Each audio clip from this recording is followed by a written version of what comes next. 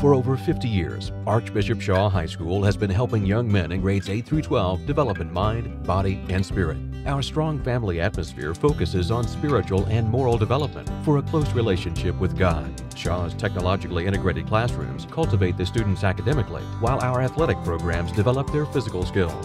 The relationships our teachers build with students instill the values of kindness, discipline, and self reliance. Archbishop Shaw High School, Excelsior, ever striving, ever achieving.